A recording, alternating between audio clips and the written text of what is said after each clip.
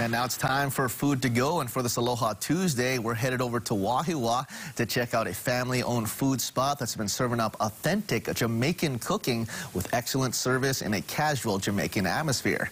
That's right, it's time to grind over at JR's Jamaican Jerk. And join us with all the Ono details is Shade Edwards, co-owner of J JR's Jamaican Jerk. And she joins us now live. Good morning, Shade. Thank you so much for joining us.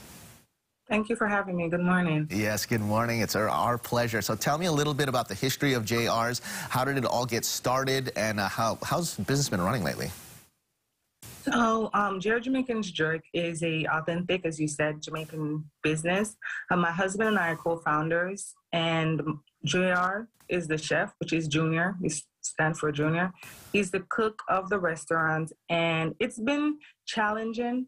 We opened up September 11th of last year in the middle of a pandemic, and it was a shot, so we took it, and here we are. Wow, and you guys are still here, so that's great news. So let's get to the yeah. food. Let's talk about what's going on with Jamaican Jerk. So what's being offered on the menu, and what are some of the local favorites that people order over there? So some of the stuff that's on the menu is we have oxtails, um, we have jerk chicken, curried goat, and all these menus, all these entrees are served with um, rice and beans. Um, the favorite of the locals or jerk is jerk chicken. You guys really do enjoy the jerk chicken. It's the sweet and spicy sauce that's they keep on coming back and asking for more. Also, um, we also offer curd chicken. It is very authentic and very delicious. They just love the jerk chicken. They always ask for the jerk chicken and the oxtail as well it's it's so much to pick from. So it, it, everything is just really good. Yes, and we're looking at the pictures, and it looks amazing, and it sounds mm -hmm. great. Can you just uh, tell us what kind of constitutes what is a Jamaican uh, uh, Jamaican entree? So it's it's consists of um, rice and beans, the meat, and a side of uh, coleslaw or which is cabbage or um, macaroni, ah. basically. Uh, that sounds great. And the, the spices, yeah. there's some secret to what makes it a Jamaican jerk or what, uh, what's the kind of so idea? the spiciness is one of the, um, the add-ons that they really do enjoy, the spice. It is, um, it can be mild or also super spicy. Whether you like the mild or whether you like the spice, you're going to enjoy it either way. Mm -hmm. These pictures look so good. So tell me, you also have some specials on the daily, so uh, let's inform the people about that.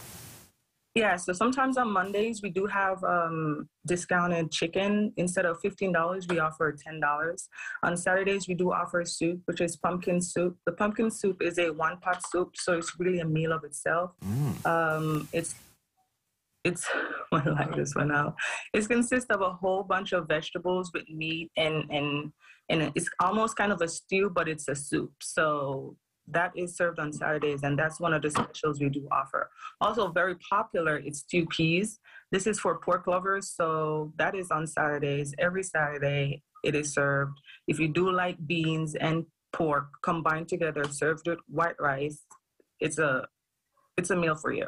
And that sounds great, but you'd have to go over there and order. They have Instagram as well as a website where you can do online ordering. So check them out, JR's Jamaican Jerk over in Wahiawa off of Kamehameha Highway. And we've been speaking with Shade Edwards, one of the co-owners over there. Thank you so much for everything and what your Thank husband you is doing. You have a wonderful day and keep up making that Jamaican Jerk. Mahalo, Shade. Mahalo.